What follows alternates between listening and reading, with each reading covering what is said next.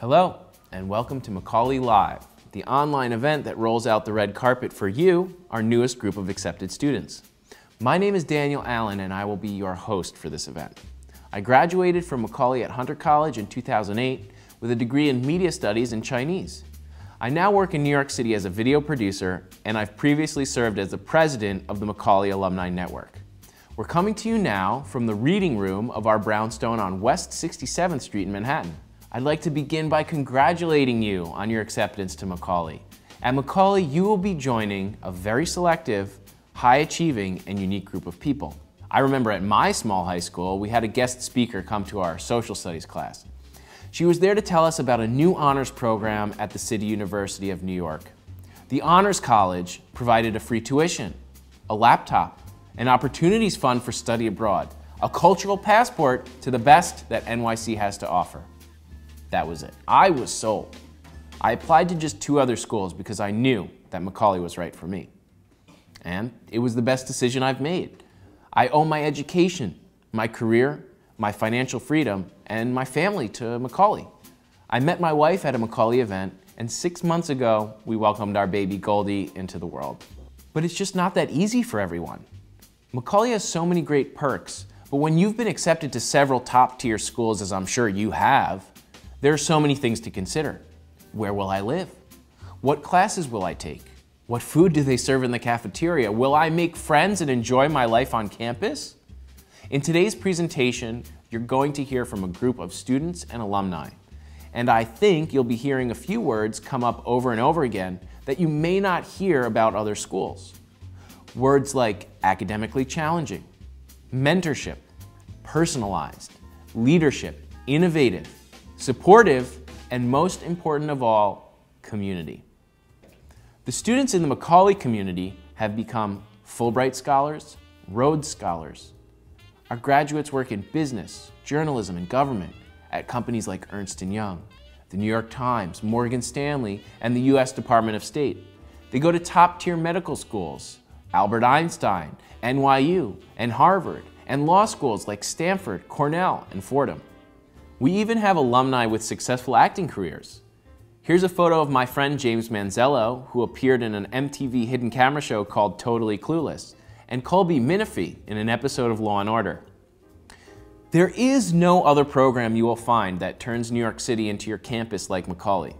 There's no other college in New York that brings together such a diverse and multi-talented group of students.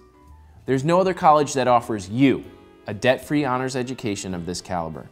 In the next hour or so, you're going to get a lot of information about Macaulay. You'll hear from a group of current students and alumni representing all eight campuses with Macaulay Honors College students. You're also going to hear from Macaulay's administrative leadership about why we think our program stands out. Based on survey results from last year's online event, we've tailored our program to address the areas that accepted students want to hear about most academic programs, the New York City seminars and course requirements, housing, transportation, and meals, what do Macaulay students do after graduation, study abroad, and the Opportunities Fund, which each Macaulay student receives to use for study abroad, internships, research opportunities, or other academic pursuits. During the webcast, feel free to ask your questions by posting them to our admissions Facebook page facebook.com slash Macaulay Admissions. We have student ambassadors and alums available to respond to your questions. And at the end of the presentation, we will address the top five FAQs about Macaulay Honors College. So stick around to hear those most frequently asked questions about Macaulay. And with that, I'd like to share a brief welcome message from Ann Kirschner, Dean of the Macaulay Honors College. Hi, I'm Ann Kirschner, Dean of Macaulay Honors College. Welcome. Congratulations. Congratulations to you and also to your family on being admitted to Macaulay. You'll hear about academics, you'll hear about uh, technology. What I really want to tell you about is the life of the students and how this place really revolves around that. You've got an idea for a club, you have an idea for a special event, we want to know about it and we want to work with you to make it a reality because we know that anything that students initiate is absolutely fantastic. For students like you who may go on to law school, med school, um, or want to roam around the world for a couple of years after, after college, you don't want to be forced into a place because of the debt that your family has taken on. So at Macaulay, this world-class education in partnership with the eight campuses of the City University of New York is yours and belongs to you and your family um, for a value that really is, um, is second to, to none. So congratulations, welcome to Macaulay. Um, we look forward to seeing you at our building on West 67th Street and all around the city of New York. Congratulations. So now I'd like to introduce our first group of student and alumni panelists. In case you don't see someone from the campus you applied to, do not worry. We'll have another group up here in just a few minutes. Corinna Singelman is a Queens native. She earned her BA in biology from Queens College in 2008, where she was captain of the fencing team. She went on to earn an MS in biology from Chatham University, and now she's come back home as a PhD candidate in biology at Queens College. Renisha Pierre is a senior at Lehman College in the Bronx, where she studies social work and sociology.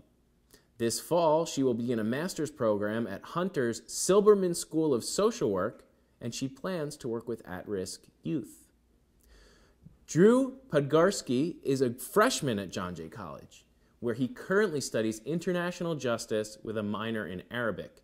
An active ROTC cadet after graduation, he will be commissioned in the Army as an officer. Hosea Mack is a junior, majoring in chemistry and minoring in Chinese at the College of Staten Island. Hosea works in two laboratories, one that does research on polymers used in consumer electronics, and the other lab tries to solve water treatment issues in developing countries. So thank you all for being here. Corinna, I'll, I'll start with you. Um, we actually graduated the same year in 2008. And one of the things that, that we've spoken about before is that Macaulay was such a good option for you because of its affordability. So tell us a little bit about that. My family came from sort of a middle class, lower middle class status, I guess. And I have three younger siblings. My family had a house and they had a lot of bills. So being able to go to college as my parents really hoped that I would, but not having to worry about financial aid or student debt after I graduated, like many of my other classmates did, was a really great opportunity that I saw through the Macaulay Honors College. And um, what were you doing? What did you do for housing when you were going to Queens College? I stayed at home. Yeah. And what was that? Um, was that balance something that you were able to to make work through the years that you were you know it was actually really great i was able to stay at home so i was very involved with my family which was really important to me. But because macaulay at each campus has their own uh, different centers where you can stay and study there's computer access internet access your advisors are right down the hall. So if you need to talk to one of the itfs or one of your uh, other advisors to get some advice or to plan your schedule, or if you wanted to form a impromptu study group with some of your classmates. So many of your Macaulay classmates are in your other courses that you just can walk down the hall, walk to a different room, and they're right there. And you can get the help you need, or study, or just hang out and enjoy the time with your classmates. And so it was it was the great the greatest balance I could imagine. The last uh, thing I wanted to ask you about is your study abroad experience in Galapagos. Tell me about that that experience. That was one of the most amazing experiences in my life. I, the happy place I go to whenever any troubles occur is the Galapagos and the beach directly across the street from campus. I think there were 17 or 18 other students who I knew three of them I became great friends with so many of the others, and we had the most amazing experience together, uh, not just educationally, but also socially, and just being in one of the most pristine, beautiful places in the world was phenomenal. Yeah. So, Renisha, let's let's move on to you. Um, we we've spoken about this before, but if you could just tell us what are the four NYC seminar courses? Because now that now you've completed all of them, correct? Yes. Um, and tell us how each of those played a role in your education so far. Okay, well, the first um, seminar that we took was um, arts in New York City, um, and that's freshman year, first um, semester. And we learned a lot about the cultural institutions that are based in New York City. Um, we went to operas, we went to different shows and plays, and learned about how arts played a role in our lives as New Yorkers, and you know the different um, art spaces that are built here in New York. Um, the second seminar that we took was Peopling um, in New York City, and we learned about the immigration patterns of New York, how New York came to be, um, the diverse cultural center that it, that it is right now, um, and a lot. And we looked at it through the lens of food in that class as well. So that was really interesting, um, and the students. Uh, played a big role in bringing in foods of their culture and speaking about that. So um, that was important. So the third seminar that we took was um, science and technology in New York. Um, and a lot of the students in the class at Lehman, some of them were science majors, biology, chemistry, anthropology, others were social science, um, and some were neither. So it was really interesting to see how we all um, could just, you know, come to a common space and understanding um, about how science shapes New York City. Um, and the last seminar that we take is policy. It's um, the policy of New York City. Um, and that was, it's good that it's the last seminar because it tends to be the hardest because there's a lot more research and work that goes into that seminar. But it, um, most students would probably say it was the most dynamic as far as the class and um, arguing with people about the policies in New York City. And we looked at it through the lens of homelessness you come to the class not knowing very much about the policy work in New York City and not understanding it, how it shapes your life directly, but we came out understanding how we can um, be instrumental in shaping the policy of New York by crafting one of our own policies, and that's the final research project that we do.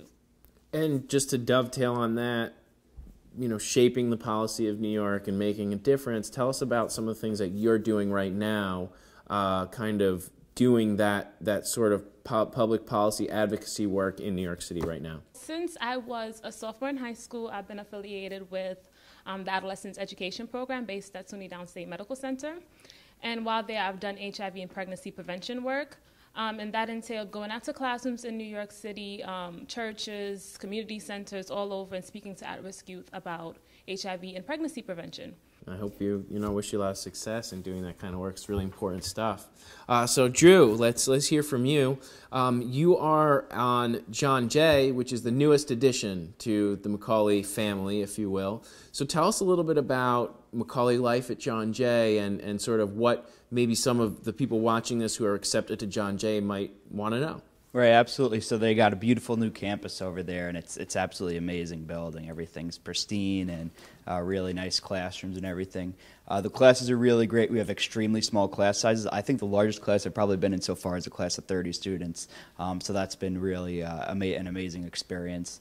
Um, there's a lot of the honors uh, students there are really high caliber students, and there's a lot of cross Macaulay honors program uh, events that we got going on. So that helps you really broaden your base of people you get to interact with. And we really have a unique. Uh, unique experience in that our Macaulay class is so small. Uh, right now, there's only 20 of us there, um, so you really have a tight knit group of friends who you get to go to class together and hang out with outside of class, and that really gives you a really an existing base of friends to to partner with and go through the college experience with. And um, how many of the students would you say of that cohort are studying things related to criminal justice system um, majors? Right, I'd say uh, almost everybody. Um, I think there's only there's we have one student who's uh, really focused on English, but everybody in some way their their majors kind of dovetail towards criminal justice, and I, that's what John Jay really offers uniquely is that all the professors that you'll experience um, have real life experience in the field. Like my one of the, um, one of my uh, seminar professor uh, from last semester actually works for the NYPD on a regular basis and does consultant work for them. Um, so you really even even like the English classes, they all have like a criminal justice twist on them. So you're always even if when you're not working on something that's specific towards your major, towards your uh, your field of interest, it still kind of comes together in the end, which is really neat. Great. Um, that's I know that that's a major focus of most of the students there, and and um, you know, to to that, we have been lucky enough to attract some pretty high profile faculty here at Macaulay. So, can you tell us a little bit about the class that you took with General David Petraeus? Um, that was, I guess, last th- this past semester. And what what did you do in that class? What did it mean to you as somebody who's who's interested in the military as a career? Right, absolutely. So um, this semester, I'm in the current currently in the class taught by uh, General Petraeus. It's really awesome. There's only 15 of us there. Uh, we all had to apply to get in. It was really competitive, and it's so you really got a group of top-notch students there. Um, what's really interesting is the theme of the class is all the revolution that's going on in the United States in different fields, whether it be uh, the energy revolution, life sciences revolution, um, all the and this can the, the nature of Macaulay, where you have people with different interests coming together. You have some people who are experts at 3D printing and they're in the class. You have people who are really knowledgeable in uh, public policy that are in the class. So everybody gets to bounce the ideas off of one another, which is great. And then when you have uh, somebody like John Petraeus who's really so knowledgeable and gets to bring real life experience to the classroom, it's just absolutely amazing. And he gets to he'll walk through you with he actually hand, grades your essays by hand, walks through every slide of your PowerPoint presentations for projects that you present with you, and you really grow you don't, you don't just learn more about the stuff in the class, but these great skills that are going to carry on with you throughout your career um, that are really valuable. And it's the most amazing experience I've ever had so far. Wow, that's great. Um, and just lastly, what are you planning to do with your Opportunities Fund? Absolutely, yes. Yeah. So right now I'm uh, also studying Arabic, and I plan on possibly next summer going to an Arabic-speaking country and using my Opportunities Fund to help pay for that. And I don't think that's something I'd be able to afford to do if it wasn't for the Opportunities Fund. So it's a great experience. So Hosea, uh, speaking about study abroad, tell me about your experience in Dominican Republic and how that helped to shape what you want to do with your career. Sure. Um, so I went to the Dominican Republic for the winter intersession this past January, and what we learned there was public policy with regards to water. And why I actually wanted to go to this um, study abroad program in the first place was because I was previously involved in a science lab, as we mentioned earlier. Um, this was a science uh, project with UNICEF actually, and this uh, laboratory sought to solve the issue of water purification. And so for these three weeks, we learned a lot about public policy. We learned a lot about uh, water and the issues that were the underlying issues that were present in the Dominican Republic. One thing that I found really really interesting was being able to get uh, to go into the communities to uh, meet the people there and to ask them questions about where they got their water from and what they thought their water source um, would be used for, such as for washing, for cleaning. So maybe it, it, it would be safe to say that you're kind of uh, finally seeing some of the laboratory work that you've been doing in action in the field. Yeah, correct. I just want to thank you all for being here, and uh, we're going to have another short break, and we're going to hear a video message from Macaulay's Dean of Technology, Joe Ugoretz. I'm Joe Ugoretz, Associate Dean of Teaching, Learning, and Technology here at Macaulay Honors College, and I'd like to congratulate all of you on your acceptance to Macaulay. What technology allows students to do is to join a larger conversation, to be a part of the whole world of, of discourse, of information, and of knowledge. For example, we had a student last year who worked on a site exploring a, a play, a broad, an off-Broadway show that he had attended. Now, because he was able to post his thoughts, to post photographs, to post ideas of where the play fit into his own life, he was approached by the playwright, uh, who offered him free tickets and a chance to meet and discuss the work. We've had students create what are called pod walks, a walking tour of the Brooklyn Bridge Park that was used by the Parks Department as a way for uh, future guests to the park to enjoy the actual history and the context and architecture of what they were seeing. Our e-portfolios are another exciting initiative here at Macaulay for students. Uh, the e-portfolio or electronic portfolio is something that we like to look at as the museum of me. It's a place, an electronic place, where the student can gather together all the evidence of her learning throughout her time at Macaulay and beyond. Class activities. She can include video of experiences in the field or studying abroad. These e-portfolios then become a, a, a display piece so that they can show to future employers, to graduate school admissions committees, to faculty, uh, to anyone who might be interested, what it means to be a Macaulay student and what it means to be a college student and a learner. In all the classes and in all our projects, we're looking to have students engage with the outside of the classroom, engage with the world that exists outside the walls of the university, because that's where real learning takes place.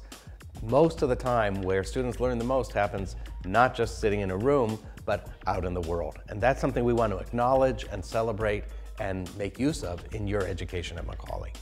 Welcome back. Our next group of student panelists. Maxime Bakalenik graduated from Baruch College in 2010. He is currently Assistant Vice President with Citigroup. Caitlin O'Hagan is a recent graduate from Hunter College. Since graduating, she's worked at the Hunter College Roosevelt House, a public policy organization, and in the lobbying department of a law firm since October. Medina Mishieva is a sophomore at Brooklyn College, majoring in psychology and minoring in biochemistry. She hails from, in her words, the lesser known country of Azerbaijan. She has her sights set on becoming a pediatrician working in neonatal care and currently volunteers at New York Methodist Hospital. Raj Basak is a junior studying physics and mathematics at City College. Born in India and raised in the United Arab Emirates, he now lives in Manhattan. In addition to his academic pursuits, he is a performer and singer and founder of the Macaulay Triplets a cappella group. After graduation, he plans to pursue a PhD in physics. So, Max, tell me a little bit, and uh, our audience here, what were the advantages that you found in an experience of, of attending a small program like Macaulay versus you know a larger school? Sure. Well, I knew I wanted to go get my education in a big city, but at the same time, when you look at a lot of these major universities, it's thousands upon thousands of kids.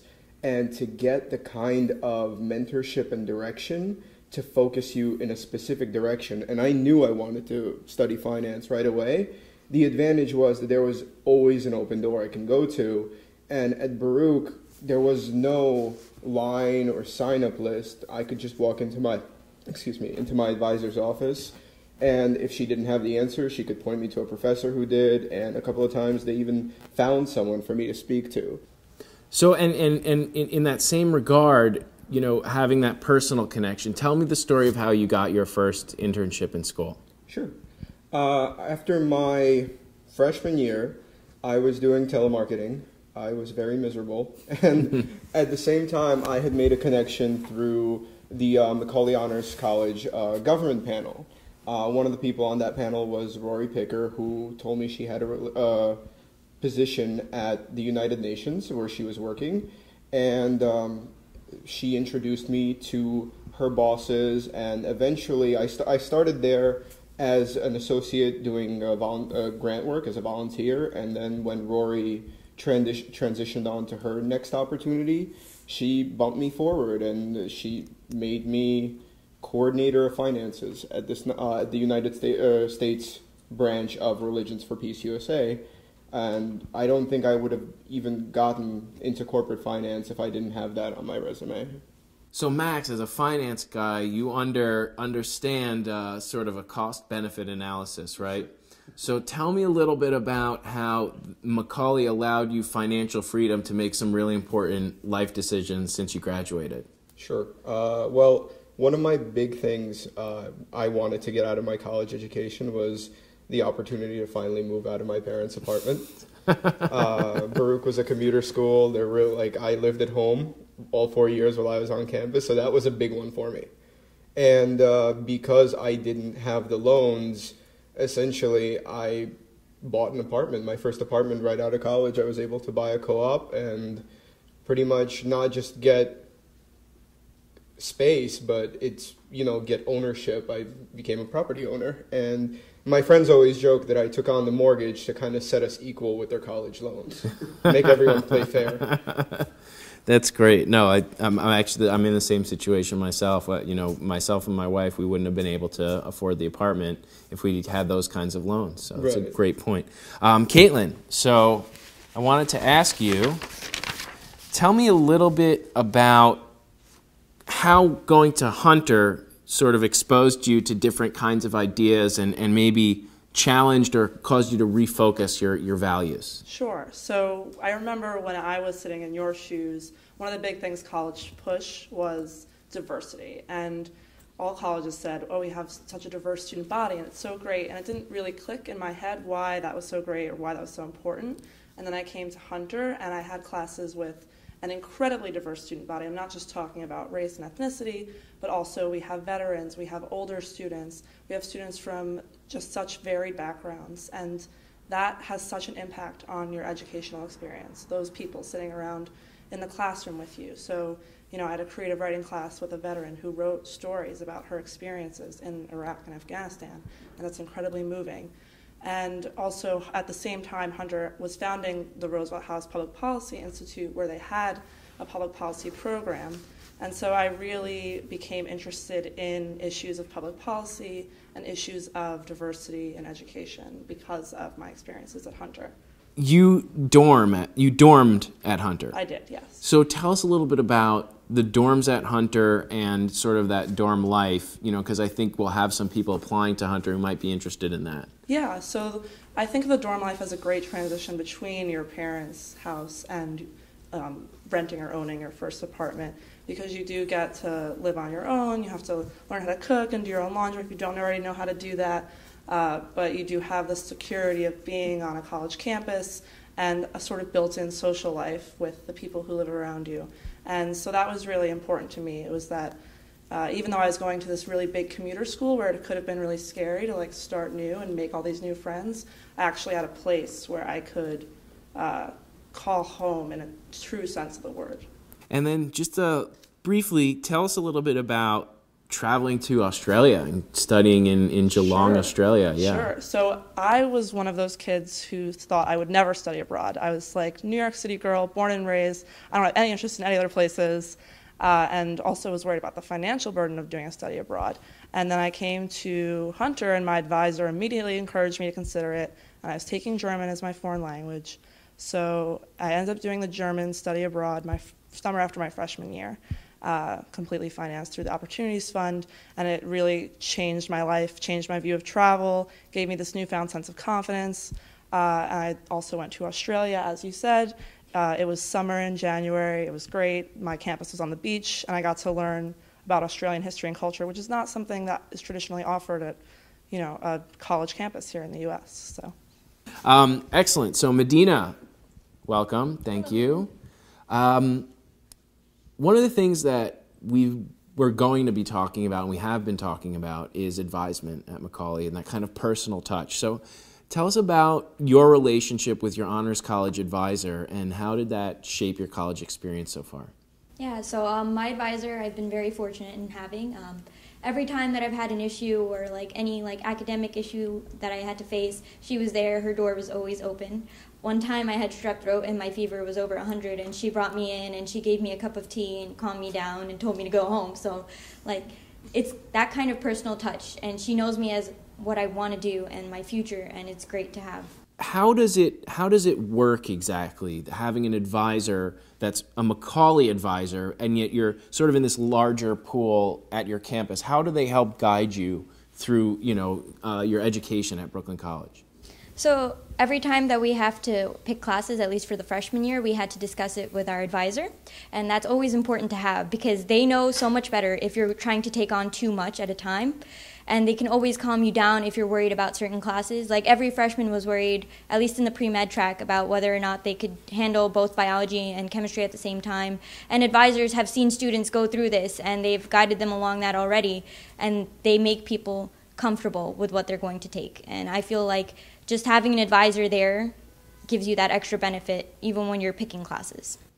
And how how do you you know I, I know that you see yourself in the future being in the medical profession how do you feel that Macaulay can help you kind of connect the dots between entering school, doing that pre med track, getting you to medical school, and then maybe connecting you to people who have taken that same path through Macaulay that you that you want to be walking. So actually, our advisors are pretty aware of the opportunities that are going on, especially in the pre-med field. So they actually told me about volunteering at Methodist Hospital. They made sure I knew who to contact. Um, they basically have a greater view of the things that you need to do to get to the point where you want to be in your life. And if I didn't have her, I wouldn't be volunteering at the hospital right now. I wouldn't be as prepared. I wouldn't have as much clinical experience as I do at this point. point, and it's great. So Raj, um, first of all, tell me a little bit about the Hertog Scholars Program. This is one of our almost additional uh, tracks that you can take to kind of challenge yourself even more uh, at Macaulay. Tell us a little bit about that. Sure, sure. So, uh, as a science student at City College of New York, uh, there are a number of requirements that need to be fulfilled um, by your junior year, and this can be a you know, a number of classes from three to like 10 classes depending on your major. And as a physics and math student, I lacked the opportunity to take classes in the humanities, something I was very interested in. So the Hertog Scholars Program is a program uh, offered to Macaulay students to all of all eight campuses, uh, and it's offered to a cohort of 20 students each year through an application, which uh, guides them through a series of six seminars that are focused on literature, philosophy, American philosophy and culture, and political economy. And uh, you know, again, on the subject of clubs and sort of extracurriculars, tell us about the Macaulay Triplets and. Um, where do you perform? What is what is this group? What is this singing group uh, all about? Sure. So for all the musicians and singers out there, I'm sure you're aware that uh, a cappella or, or, collegiate a cappella, just like Pentatonix, is a really big thing uh, through universities all across uh, the country. And the a cappella group of Macaulay is called the Macaulay Triplets, uh, which has anywhere from uh, 13 to 15 students at any given time spread all across the uh, seven, eight campuses, and we meet here at the Macaulay Building twice a week and rehearse. Uh, in our during our tenure, we've we've performed uh, all over the Northeast. We performed in Boston, Philadelphia, Binghamton, D.C. Uh, and recently, we were just featured on the quarterfinal of the International Championship of Collegiate A Cappella, where for the second year in a row we brought home an award. Um, again, the, the, Macaulay Triplets are uh, a very tight knit group where people join not only to sing and, and make music, but they also join to meet people and, and to make a lot of friends. Um, and just like the Macaulay Dancers and the variety of, of other um, student clubs on campus, like the Macaulay Improv Group, uh, um, the Macaulay Movie Club, the Macaulay Gastronomy Club, the triplets are sort of a place to a, sort of a place to pursue your interest while meeting people and making your, your college experience not just an academic one, but a personal one. So the Macaulay triplets are one of my my most in, one of my favorite hobbies on campus. So. And just to clarify, it's more than three people.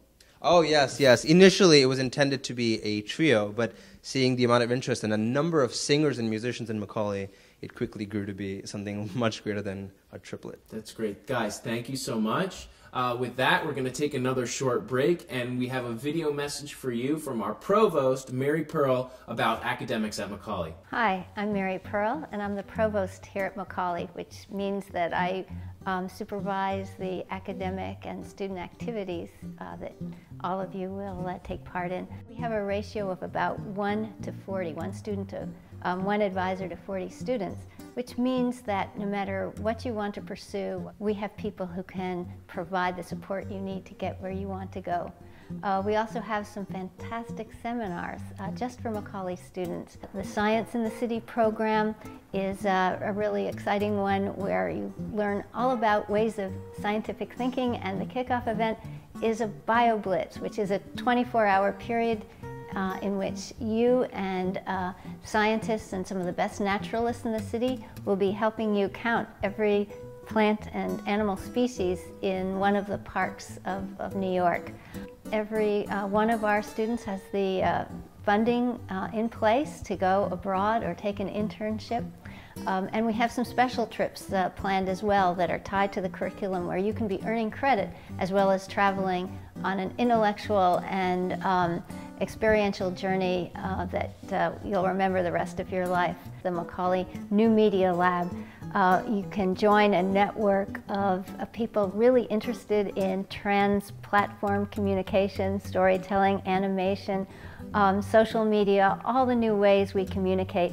Not only um, do you get to work on your own projects, we uh, help you pitch them to all the media companies in our neighborhood, um, from WNET to WABC to many of the uh, online channels. If you have any more questions about Macaulay, I'd be delighted to answer. Thank you so much for watching this video, and I hope to see you in the fall. At this point, I'd like to address some of the most frequently asked questions about Macaulay. How do I apply for the Opportunities Fund? Freshmen may begin to apply for funding during the spring of their freshman year. They may begin to access the funding during the summer between the freshman and sophomore years. When do I have to make a commitment to attend Macaulay? The deadline is May 1st. How do I find out about on-campus housing? Students interested in campus housing should contact their home campus and check the websites. Macaulay's central administration does not place students for housing. What if I have a change of heart and want to change my major to one that is not offered at the campus where I was accepted? Can I transfer? While transfers between Macaulay campuses are discouraged, Macaulay students are welcome to take courses on any CUNY campus, including graduate courses at the CUNY Graduate Center. Many Macaulay students enroll in cross-campus and graduate courses. So, to sum up, you've had the opportunity to hear about all that Macaulay has to offer. From the academic experience, to internships and study abroad, to what some of our graduates have been up to. We truly hope that you found this information session useful, and of course hope that you will choose Macaulay for college. If you do, you'll be joining a cohort of students who are passionate about their education, the diversity of New York City, and their opportunity to shape the future as Macaulay graduates. If you're the type of scrappy student who looks towards college as a great adventure, then Macaulay is perfect for you. Before we leave you, I just wanted to thank all the people who made this presentation possible. Marianne, Luke, and Charmaine in enrollment here at Macaulay, Michael and the entire IT staff, Dean Kirschner and Provost Mary Pearl, Associate Dean Joe Ugoretz, ambassadors and alumni chatting with you on Facebook, Mila, a Macaulay graduate and our associate producer, Herman on the teleprompter, Ali Kamara, our cameraman, all of our student presenters, and of course, our audience who joined us today. Thanks all, and we hope to see you in September.